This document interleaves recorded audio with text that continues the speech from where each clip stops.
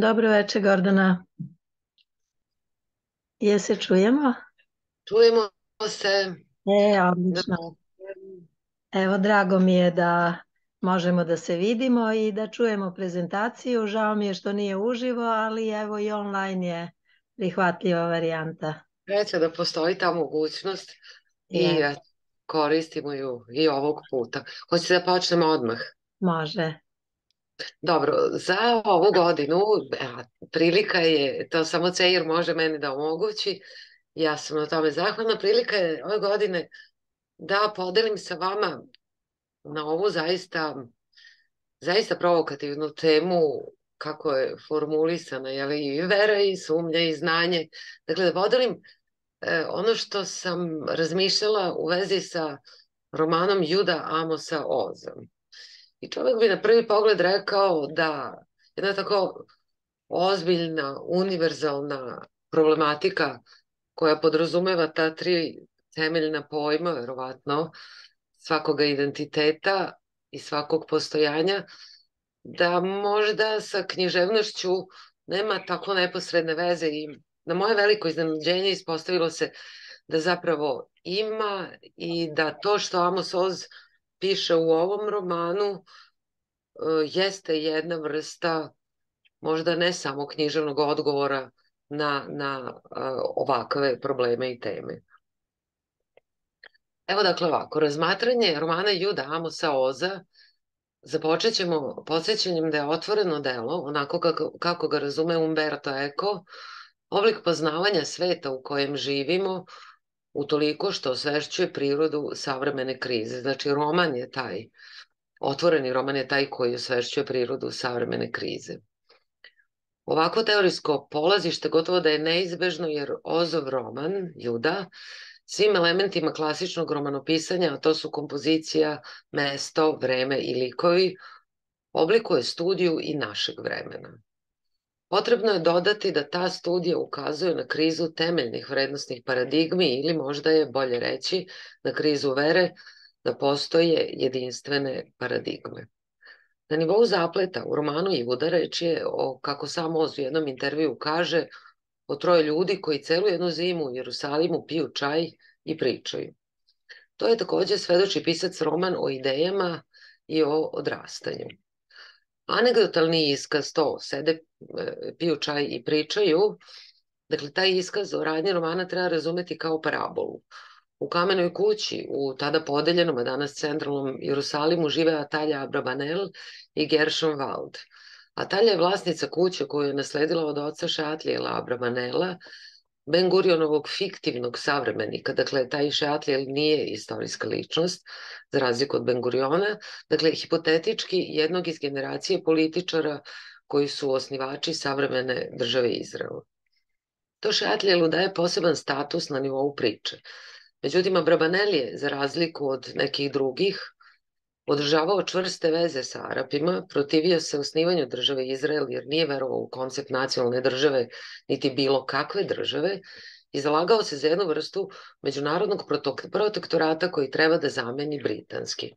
I to su zapravo aktualne političke teme e, tog vremena, vremena osnivanja države Izrael, ali problem statusa nacionalne države je i danas više nego aktuelan u ne samo u teorijskim razmatranjima.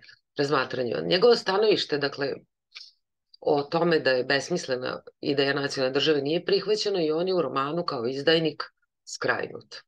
Izbačen je iz svetske cionističke organizacije i iz rukovodstva Jevrijske agencije. Njegov politički protivnik iz tih godina je drugi stanar kuće koja je mesto radnje romana Juda. Gershom Wald je teško pokretni starac koji svoje dane provodi okružen ogromnom bibliotekom, u sebi na jednom mestu kaže da je stari učitelj Tanaha i istorije, a sam je živa istorija ranih godina države Izrael. Abrabanela i Valda razdvojila je politika i nerazdvojno povezala zajednička tragedija. Valdov sin Miha, koji je bio muž Abrabanelove kćerke Atalje, poginuo je boreći se u ratu 1947. I sad navodimo, Miha, moj sin, moj jedinac, možda ne bi otišao u taj rat da njegov otac nije držao govore o neophodnosti rata.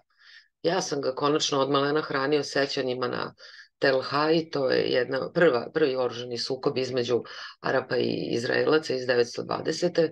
Na, na Vengateove noćne jedinice, na čuvare i makavejce koji sada moraju da vaskrsnu. Završavamo navod. Tako je u tom trouglu Oz postavio pitanje ispravnosti jednog političkog opredeljenja, ne samo iz perspektive globalne politike, jer Abrabanel nije verovao u Bengurionove mesijanske tendencije, nego i iz perspektive ličnih sudbina. Gershon Wald ne prestaje da preispituje i traga za argumentima kojima bi ipak potvrdio da je njegovo opredeljenje za Ben Gurionovu liniju bilo ispravno. Međutim, nije moguće naći, naći valjanu i konačnu argumentaciju ako se ona sučeli sa činjenicom da je očevo opredeljenje dovelo do smrti sina. Kolizija između ličnog i kolektivnog, posebno kada je to kolektivno politično postavljene kao osa života poraženih ljudi, ono je na šta Ozov roman između ostalog ukazuje.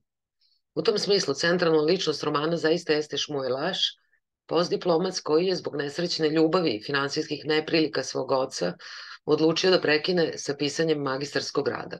Za razliku od Geršoma Valda i Atalja Abrabanel, koji su svako na svoj način izabrali stranu, Šmuelov portret sa početka romana ukazuje na trenutak krize. Ozovim rečima Šmuel je snažan mladić, 25-godišnjak, osetljiv, socijalista i asmatičar, koji se brzo oduševljavao, lako razočaravao. Osoba koja se pita, ali šta ti preuzima, preduzimaš? Upitao bi se katkada iz osjećanja neizvesnog prezira prema sebi, šta u stvari ti preduzimaš osim što se osjećaš. Njegova teza Isus u očima jevreja činila mu se revolucionarnom u razmatranju teme koja je prevashodno oblikovala, oblikovana u nejevrejskom narativu. I sad navodimo, ali kada je počeo da proverava pojedinosti i istražuje, postalo mu je jasno da njegove sjajne ideje nisu bile ni malo nove, da je sve objavljeno još pre njegovog rođenja, početkom 30-ih, u napomenama kratkog eseja koji je napisao njegov izvanredni učitelj, profesor Gustav Jomtov Eisenschloss. Na ovom mestu Oz uvodi temu revolucionarnosti kao faze u sazrevanju. Šmuel je pripadnik radnog kruža oka za socijalističku obnovu studenta i u kamenu, kamenu kuću donosi i Čegevarin poster, ali se vrlo brzo kroz jedan san uvodi zapravo motiv jude kao arhi izdajnika. Nedostatak radikalnosti i sklonost ka umerenim rešenjima iz perspektive radikalnih revolucionara jeste izdajničko ponašanje. Ta konceptualna strategija da perspektiva sagledavanja događaja oblikuje i njegovo vrednovanje biće prisutna u celom romanu. Proces dekonstrukcije motiva Isusa, ali prevashodno jude iz Karijotskog, počinje već u naslovu romana. U hebrejskom originalu glasi Evanđelje po judi, ali se u svim prevodima roman zove samo Juda. Činjenica da je Juda uobičajeno jevrejsko ime, te da za jevrijskog čitaoca ono nema značenja arhiizdajnika, zahtevala je proširenje naslova. Treba napomenuti da se značenje naslova ipak menja još na jedan način. Naime, evanđelje konotira tekstualizaciju života naslovnog junaka, dok samo ime u naslovu isključuje tekstualno posredovanje između portreta junaka i čitaoca. S ovom konotacijom u nejevrijskim kulturnim kontekstima postaje gotovo performativno. Ukrstimo li međutim jevrejski sa nejevrijskim kulturnim kontekstom, tada u jevrejski reč evanđelje unosi hristijanizovana značenja pojmova blagovesti, objave, što ne isključuje izvesne humorne tonove na račun kulturnih kanona, ali svakako razgraničenja kulture čini znatno slabijim. Roman jednim delom rekonstruiše istoriju jevrijske misli o Isusu. U delovima Šmuelovog rukopisa nalazi se, nalazi se podatak da se sa potpunim ignorisanjem Isusa prestaje u jevrijskim tekstovima od srednjeg veka. U spisima čuvenih mudraca, među kojima su Juda Halevi i Moshe Ben Maimon, na različite načine diskutuje se činjenica da je jedan jevrin začetnik religijskog pokreta koji se razvije u veliki antipod judaizmu. Ono što Šmuela čudi jeste njihovo potpuno ignorisanje duhovne i moralne suštine Isusovog učenja, ali posebno ga čudi što se, kaže Oz, nikod jednog od ovih pisaca ne pominje Juda Iskariotski, bez kojeg ne bi bilo raspeća na krstu, a tada ne bi bilo ni hrišćanstva. I budući da Šmuel zna da su jevrijski mudraci učili da za sve postoji razlog, roman Juda pokušaje da se razlog izostanka priče o Judi razume iz jevrijske perspektive, što se može učiniti kao kulturna apropriacija ako priču o Judi Iskarijotskom shvatimo kao hrišćansku priču. Međutim, budući da su Isus i apostoli bili jevreji, pre, pre bi se moglo reći da je narativizacija hrišćanska, ali da je ona mogla, može biti i jevrejska. Vratimo li se još jednom hebrejskom naslovu koji glasi Evanđelje po judi, nužno je pomenuti prototekst istog naslova. Reč je prema Lensu Dženotu Apokrifu, originalno pisanom na grčkom, verovatno u trećem veku naše ere, a sačuvanom u prevodu na koptski iz 14. veka, koji je otkriven verovatno u Egiptu 1970-ih i konačno objavljen u prevodu na engleski aprila 2006. godine. Evanđelje po judi je dijalog između Isusa i njegovih 12 sledbenika i povremeno dijalog Isusa i jude iz Karijetskog nasamo u danima koji neposredno prethode raspeću. Ova napomena o dijaloškoj formi neobično je značajna, jer iako je prototek strano hrišćanski, Amos Oz je sačuvao svoju svojevrsnu dijalošku koncepciju u svom romanu. Takođe, to je ta, ta, ta napomena da oni piju čaj i razgovaraju cele te zime. Takođe, u Ozovom romanu nastavljena je diskusija hrišćanskih teologa o ovom tekstu, započeta verovatno sa Irinejem Lijanskim, koji je rođen 1130. naše ere. Judi i temi izdaje polemički je pisao i Origen. U Danteovoj božanstvenoj komediji Jude je na dnu devetog kruga pakla sa izdajnicima. Četvrti pojas gde su izdajnici gospodara i dobročinitelja nazvan, taj četvrti pojas nazvan je po Judi Judeka. On sam osuđen je da ga Lucifer žvaće zubima koji su na jednom od njegova tri lica i da mu kanđama dere kožu sa leđa. Renesansa ipak počinje da modifikuje radikalno negativnu percepciju jude, što se nastavlja nakon Luterove reforme koje judu vidi kao instrument u rukama đavola i u prosvetiteljstvu, do duše iz drugih razloga. Judu u prvo vreme potiskuje reinterpretirani srednjovekovni motiv jevrejna lutalice Ahasvera, ali će prema Stanfordu kod nekih pisaca doći do stapanja ta dva narativa, Jude i Ahasvera. Romantičarski pisac Thomas de Quincey napisao je 1853. esej Juda Iskariot uvodeći po prvi put ideju Jude revolucionara. Uticajan trend posljednjih nekoliko decenija u studijama biblistike je prikazivanje Jude Iskariotskog kao mnogo pozitivnijeg karaktera u odnosu na zlikovca kakav je bio u ranohrišćanskoj tradiciji. O tome postoje vrlo zanimljivi zbornici radova.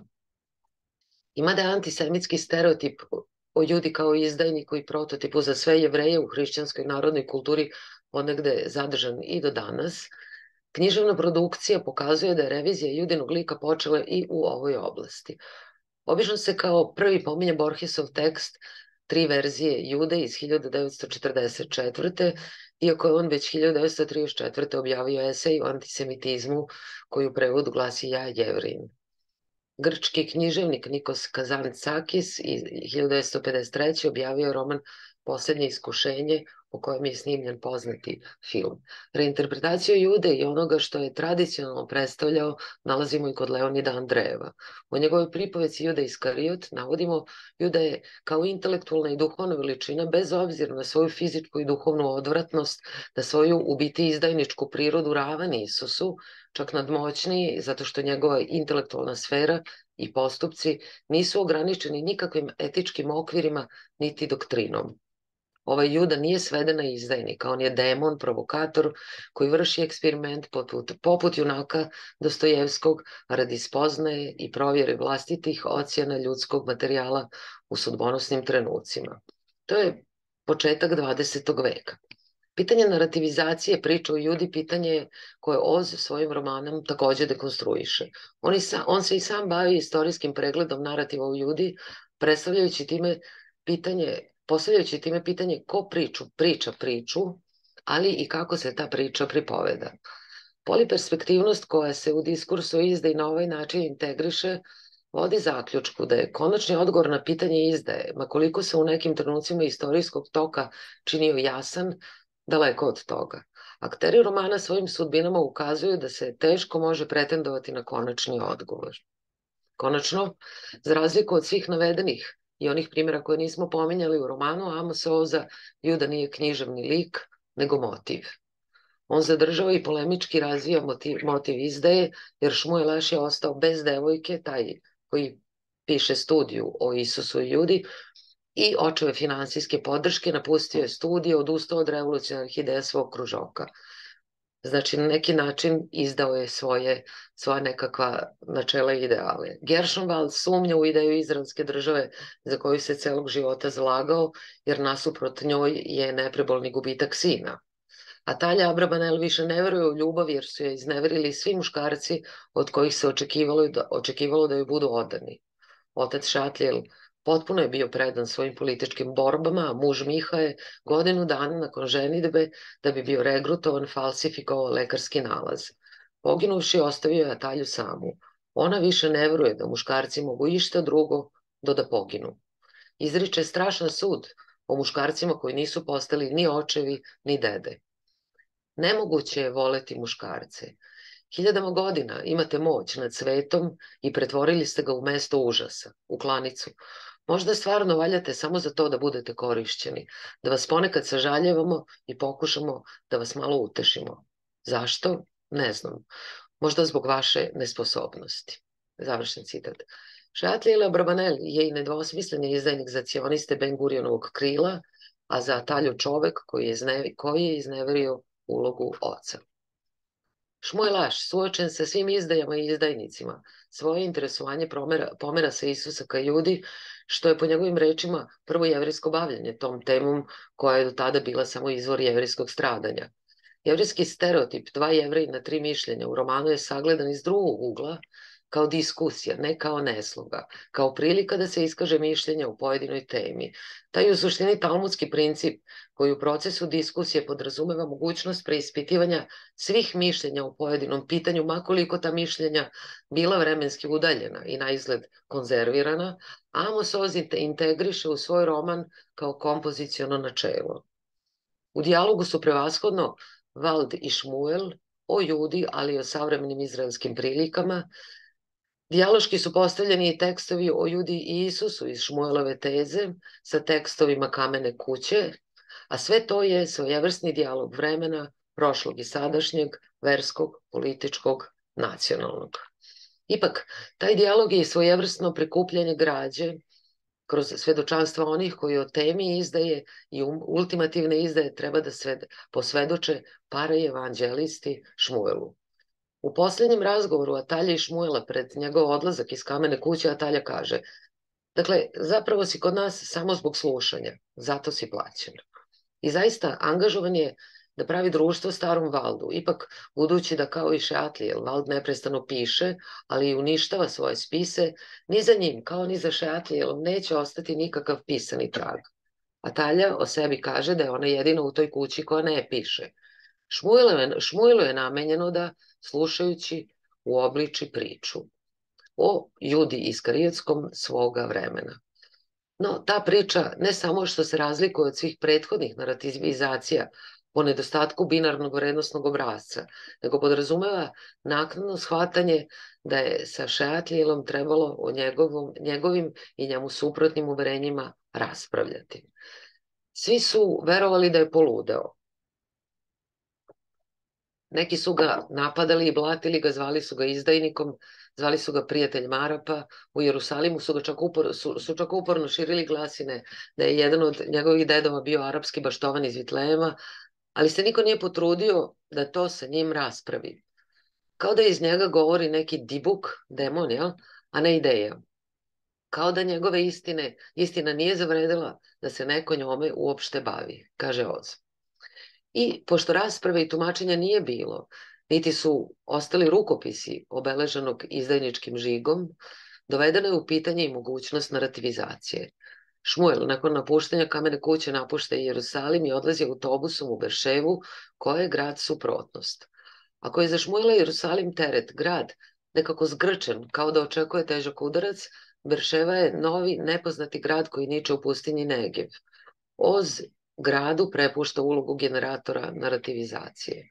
Da li će Šmuelova priča o ljudi iz Karijetskom biti napisana, ne znamo. Roman se završava scenom u kojoj para evanđelista luta nepoznatim ulicama Berševe, zastaje i razmišlja. Amos Oz piše otvoreno delo o transgeneracijskoj temi izdaje koju uvodi u jevrijski, tradicijski i politički kontekst. Polazeći od pretpostavke da su Isus iz Nazareta i Juda Iskariotski nekada bili ljudi svoga vremena, a narativizacija njihovih života dala je oblik večnim mesijanskim idejama, odnos Ben Guriona i Šeatlijela Abrabanela usmeno predanje oblikovalo je u odnos pravednika i izdajnika. Za Oza, međutim, to nije dovoljno da bi se znala istina, jer nosilac mesijanske izdeje zapravo nije bio Ben Gurion, nego Šeatlijela Brabanelu. On veruje da je besmisleno stvaranje krvlju i mačem jedne male države, citat, kad će i onako uskoro nestati sve države na svetu i umjesto toga će mnoge zajednice različitih jezika živjeti jedna pored druge i jedna sa drugom, bez destruktivnih igračaka političke i vojne suverenosti, bez utvrđenih granica i ubitačnog oružja. Završen navod. To je verbalizacija mesijanske ideje, središnje za jevrejski tradicionalni verski narativ. Iznad kapije na ulazu u kamenu Abramanelovu kuću, u kojoj je Šmuil prikupljao građu za svoje evanđelje po ljudi, stoji natpis i doći će izbavitelju Sion. Jerusalim će vaskrsnuti. Amin. 1914. Do tada Šmuil u Novom gradu, koji nije opterećen istorijom, treba da nađe svoj put. Zato je zastaja, zastao i razmišlja. Eto, to je ono što ja mislim o tom romanu. Hvala Gordana. Vrlo zanimljiv roman i nosi tako dosta pitanja i motiva. Ovaj motiv izdaje u svakom vremenu ima svoju poruku a, i motiv pravednika i mesijanska ideja. I skoro ne znam šta bi bilo tu važnije, da li mesijanska ideja ili da motiv pravednika i da li bi on bio moguć bez ovog izdajnika. To, to, to je lepa poruka koju ste e, pokrenuli i posebno lepo u tom romanu što je u dijaloškoj formi i što se sve ideje kroz vekove koje se akumuliraju mogu ponovo pokrenuti, dakle nisu konzervirane, zaboravljene, e, uvek je uvek je pitanje isto. Ko je izdajnik i, i kakva je eto i samo ime, uh, ime Isus i ime Juda koje je tipično jevrejsko i u savremenom svetu koliko roditelja je u hrišćanstvu dalo svoje ime, ime svom detetu jedno ili drugo te arhetipove. Ne, ne, ne, u potpunosti upravo ja sam imala velike probleme zapravo sa ovim romanom iz ovih razloga koje ste naveli. Čovek ne može da razluči šta je važnije i šta uopšte prvo da posmatra. Taj roman je vrlo moderna, kompozicijona, književno gledano forma. Ali motivi, teme, ideje koje otvara, aktuelnost, ja sam neki dan ponovo u vezi sa našim, našim najaktuelnijim događanjima slušala priču o izdaji. I kako mi to, kako, kako mi znamo šta je to u nama ili van nas što nas što nam daje pravo da nekoga označimo na jedan ili na drugi način. Mi živimo i dalje, ja se bojim, e, ja se bojim. To prilično nestabilno vreme u kojem ni za šta zapravo nemamo dovoljno stabilnu tačku oslonca da bismo, osim možda u Bogu, ne, osim jedino u Bogu. Mislim da izvan, izvan toga ne postoji ništa stabilno u ovom trenutku, u trenutku oko nas. Vi znate, to je neka tema kojom se ja dosta dugo sad već bavim, pri čemu ja nisam teolog uopšte, ali ja vidim da je književna produkcija preokupirana tom velikom temom. Šta je naša tačka oslonca? Kako znamo bilo šta, a posebno te temeljne stvari. Tako da, eto, ovaj, e, ja sam strašno vama zahvalna. Pitanje je veliko, da li bih i kako mislila da nema Ceire, da nema vas. Mislim da je to, vi to znate da ja to mislim, ali eto, nije zgorek pomenuti. Jako je važno to što otvarate ovu vrstu pitanja. Mi moramo tragati. Ne znam da li ćemo doći do odgovora, ali tragati moramo. To to je naša dužnost. Da. Eto. Hvala, hvala Gordana. Sviđa mi se i ova ideja da će jednog dana svi narodi živeti jedni s drugima ili jedni pored drugih i da neće biti ratova i prolivanja krvi i to da za tu tačku oslonca i ostvarenje te ideje potreban je Bog, a to znači Mesija. Tako to je, to je otprilike suština mesijanske ideje i u judaizmu. Ja protiv tog puta ne bih imala ništa, zaista. da, nada je ono što svaku religiju što je daje težinu i nada i dobro i ljubav i vera i da nije religije ne znam kakav bi ovaj svet bio. I na kraju krajeva naše je da naše male, mala zrnca, male korake činimo na tom putu. Ja ne vidim, ne vidim da išta drugo ima da radimo sad kad smo tu, nego da dajemo svoje male doprinose. Možemo to zvati na bilo koji način. Teološke terminologije su bogate imenima, nisu imena najvažnija nego dela. Tako da, ja to mislim da. nekako. Hvala Gordana, kao i uvek zadovoljstvo je slušati vas. I, Hvala, moje zadovoljstvo već. Eto, i rado ćemo čitati tekst, a i videti se opet sledeće godine na novoj Ceirovoj konferenciji. Nadam se sad stvarno fizički. e, dobro. Eto, svako dobro i uspešan rad vam želim. Hvala, hvala. Prijetno. Prijetno.